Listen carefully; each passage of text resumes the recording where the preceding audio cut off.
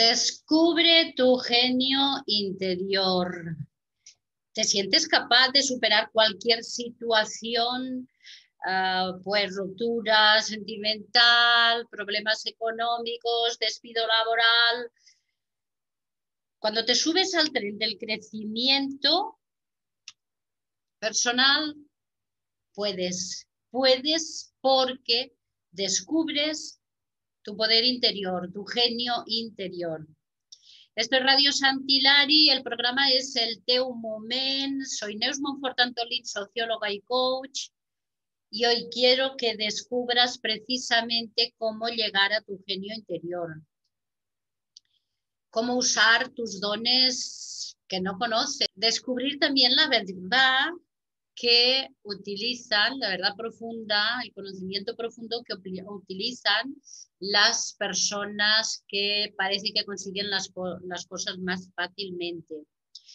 Hay una persona muy conocida, Robin Sarma, tiene muchos vídeos, lo podéis eh, buscar en YouTube, hace muchos cursos, eh, yo estoy, por ejemplo, en una plataforma que se llama Mind Valley, o sea, Mind de mente, eh, aprendiendo muchas cosas con Robin Sharma.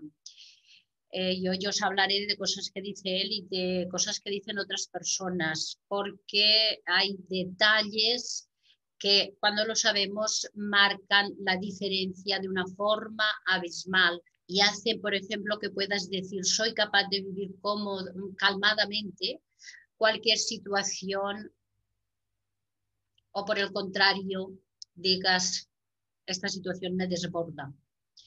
Y el vivirlas de una manera o de otra, pues esto se consigue aprendiendo herramientas precisamente de desarrollo personal, que os las compartí, eh, os compartí las razones para entrar en el crecimiento personal en la emisión de la semana pasada.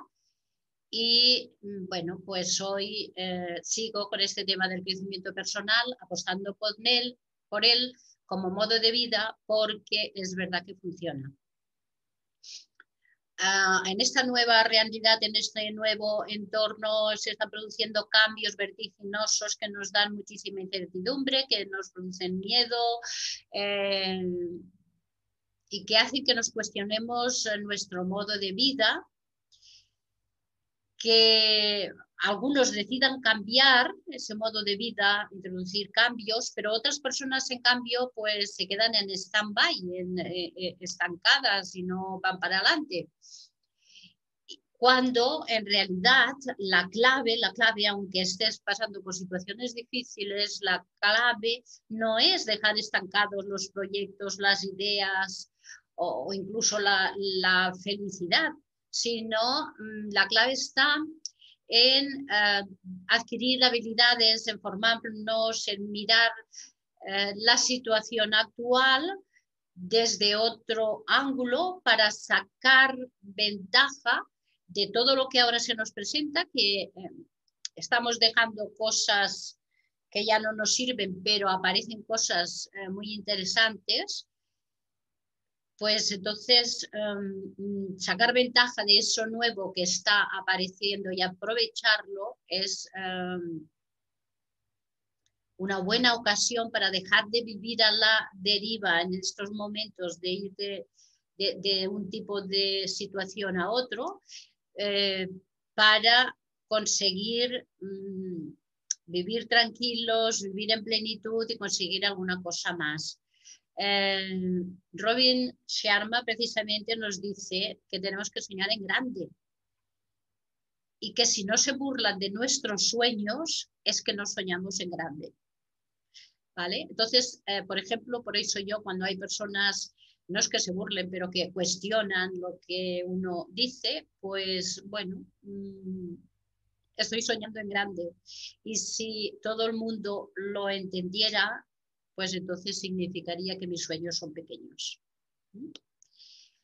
A ver, otra cosa que nos dice, ahora me acuerdo, Robin Sharma, nos dice que hay muchas personas que mueren a los 20 años y los entierran a los 90. ¿Y con esto qué quiere decir? Pues porque hay personas que muy jóvenes se amoldan al mundo, se resignan y dejan de ser ellas mismas. Son ese yo pequeñito, no son el yo grande que podrían ser. Y precisamente lo que hace falta en tiempos de tantos cambios, de tanta incertidumbre, es desempolvar habilidades, desempolvar actitudes que son necesarias ahora para seguir adelante.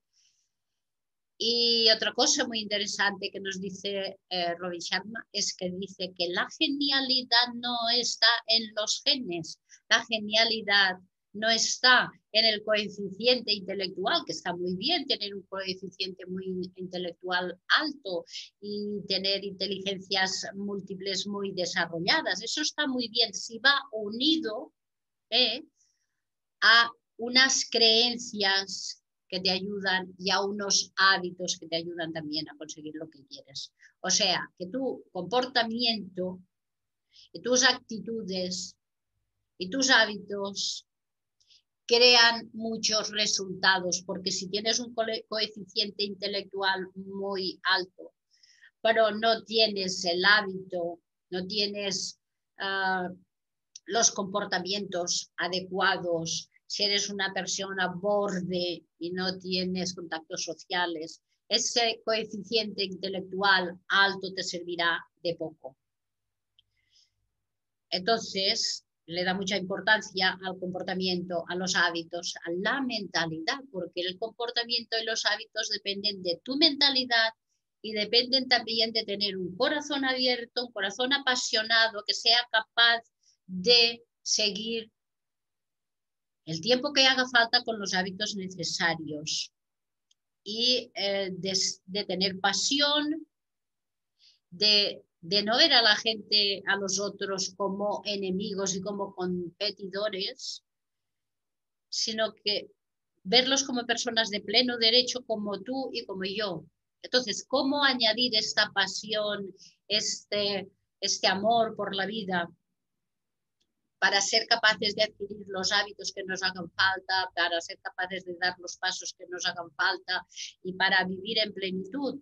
Pues despertando tu genio interior, despertando tu poder interior, despertando tu esencia, para quedarte con el yo grande, para ir descubriendo ese yo grande, ¿vale? Y no quedarte con el yo pequeñito que nos han ah, acostumbrado a escuchar.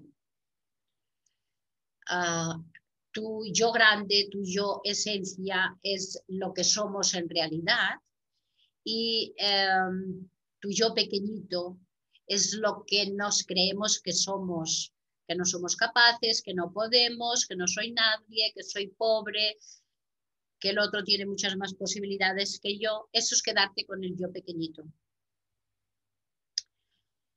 Para, para cambiar comportamientos y cambiar hábitos, pues depende del hábito y del comportamiento que quieras cambiar, pero ah, se necesita mm, un tiempo, porque son nuestros circuitos neuronales los que han de eh, renovarse, em, de ampliarse, de hacerse más pequeñitos unos y más grandes otros.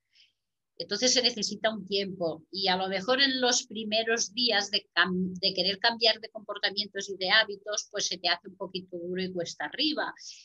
En medio, pues verás que a lo mejor es un caos, que no me acabo de decidir si me voy para donde antes, con el comportamiento que tenía antes, o sigo, eh, aunque me está costando mucho con los pasos para adquirir el hábito nuevo. Eh, bueno, sigue, sigue porque eh, cuando ya estés en los últimos días, se dice que con 66 días ya cambiamos un hábito, pues a, los 20 días finales ya, ya verás muchos resultados y buenos.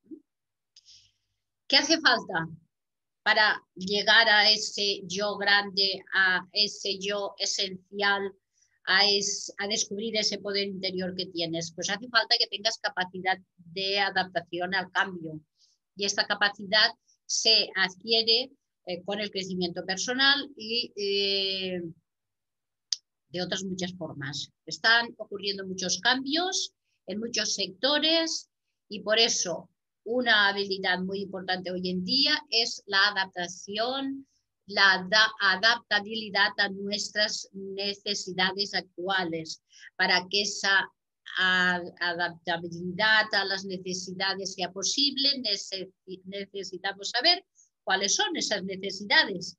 Y esto lo descubrimos descubriendo los mensajes de nuestras emociones, como ya te dije la semana pasada. ¿Qué otra habilidad necesitamos? Pues prestar atención y observar y ser muy conscientes, poner mucha conciencia en todo para descubrir las nuevas oportunidades. Hay nuevos modelos, hay nuevos comportamientos, mm, había, hay trabajos que hace 20 eh, años no existían.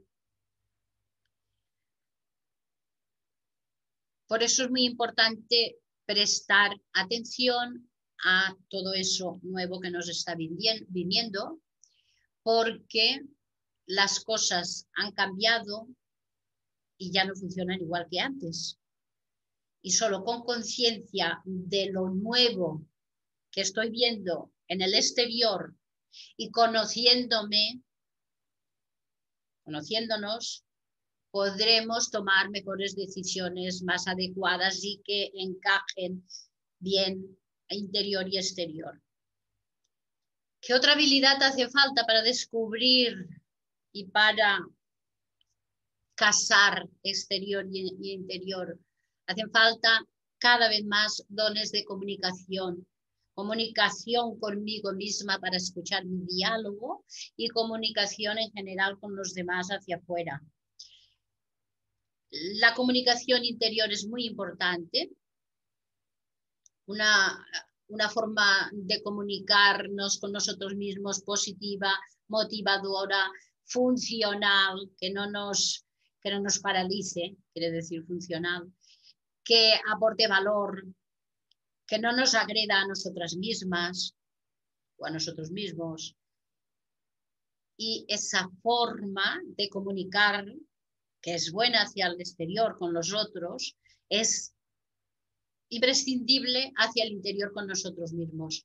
Es una habilidad que se tiene que adquirir porque no nos han acostumbrado a ella, a tratarnos bien. ¿Mm? ¿Qué más hace falta? Hace falta empatía, hace falta respeto hacia las situaciones de cada persona y también empatía y respeto con nuestras necesidades. La falta de empatía siempre ha sido un problema enorme en el mundo y ahora más que nunca es importante entender a las personas y a nuestro entorno. Entender a nuestro entorno, por ejemplo, tiene que ver con la ecología, con las personas que defienden a los animales, entender también a las personas y entendernos y tener empatía también con nosotros mismos. Ahora más que nunca es muy importante potenciarnos y potenciarlas. Y si solo nos quedamos, como os he dicho, con el conocimiento intelectual, con el coeficiente intelectual, con esa inteligencia, y no le ponemos estas otras habilidades, nos quedamos cojos. ¿Qué más hace falta para descubrir ese poder interior que todos tenemos? Hace falta planificar qué es lo que queremos. Y además es muy importante a cada día ponerle una intención. Yo sé cada día cuando me levanto por la mañana más o menos qué es lo importante para hacer ese día. Y si yo manifiesto la intención que tengo para ese día, me será más fácil enfocarme lo importante, no distraerme con tantas tentaciones como tenemos a nuestro alcance. Y fíjate que este manifestar ah, y la, la intención del día es otra forma de poner conciencia a mi vida. hay algo muy importante y que no solemos hacer. Y es muy sencillo, y por sencillo parece tonto, pero no lo es. Todo lo que os estoy diciendo es sencillo, lo puede hacer cualquier persona, todos lo sabemos hacer. Lo que pasa es que no nos ponemos a hacerlo. Entonces es, ¿cuántos permisos te das? Y hacer como un checklist. Te voy a decir cosas, ¿vale? Y tú mentalmente vas a poder eh, descubrir si te estás dando permiso para eso o no. ¿Te estás dando permiso para ser tú misma? ¿Te estás dando permiso para crecer? ¿Te estás dando permiso para no compararte? Porque cuando te comparas es muy posible que no sea para tú salir bien parada, sino para ver que el otro tiene más que tú o que es más alto que tú o que tiene más ayudas que tú, etcétera. Te estás dando permiso para no culparte, para entender que eres una persona humana, que estás haciendo las cosas lo mejor que puedes y si te equivocas, pues te has equivocado y no me culpo, sino que aprendo. ¿Te estás dando permiso para tener relaciones sanas? O estás teniendo relaciones con personas que te bajan la, moral, pero por deberías, por obligaciones, estás teniendo mucho contacto con esas relaciones que no te gustan. ¿Te estás dando permiso para dejar de sostener lo insostenible?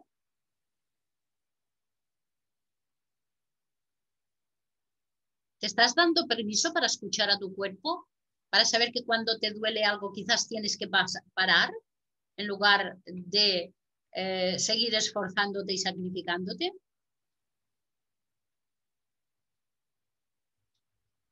estás tomando decisiones, te estás dando permiso para tomar decisiones, aunque a veces esas decisiones eh, cuesten eh, porque mm, siempre han decidido por ti otros y, y no decidías porque quizás el otro iba a reaccionar mal y estabas entregando tu poder personal al otro en lugar de decidir tú, sin valorar lo que tú querías, sino bueno, que decida el otro para que no haya problemas. ¿Te estás dando permiso para expresar tus emociones? ¿Te estás dando permiso para descubrir eh, tu parte más oscura, tus emociones menos agradables, porque hace tiempo que las estás tapando porque te hacen sentir incómoda? ¿Te estás dando permiso para decir no sin sentir culpa? ¿Te estás dando permiso para disfrutar de lo que más quieres? ¿O estás siempre eh, cediendo para que disfruten a otros antes que tú. ¿Te estás dando permiso para vivir con facilidad? ¿Te estás dando permiso para merecer espacios de descanso, para merecer ah, cosas que deseas tener? ¿Te estás dando permiso o te sacrificas siempre por los demás? Si te equivocas, aprendes. Y si no sabes qué hacer en un momento, respira. Y si a veces no tienes las respuestas, pues confía. Pero date permisos. Date más permisos de los que nos damos hasta ahora. Y eso no es hacer daño a nadie, es querernos mucho y permitirnos vivir preciosas aventuras, para permitirnos vivir la vida. ¿Qué más cosas podemos hacer para descubrir ese poder interior que tenemos? Todos estos permisos que te he dicho antes te ayudan a descubrir tu poder.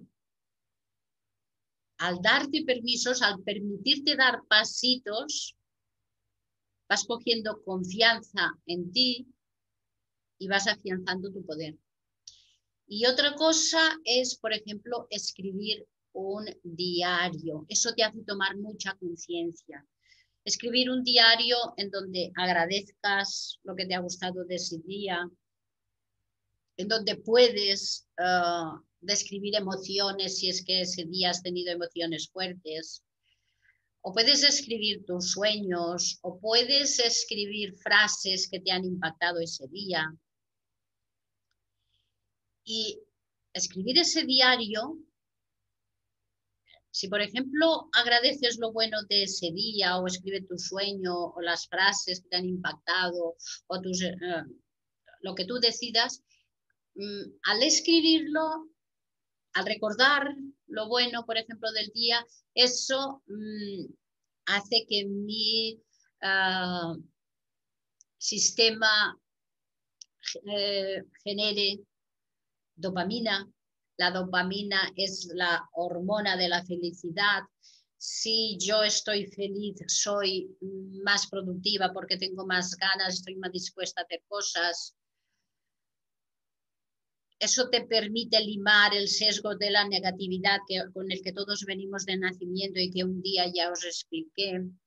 Y sin darte cuenta, estás reprogramando tu mente, ese sistema de creencias las estás reprogramando.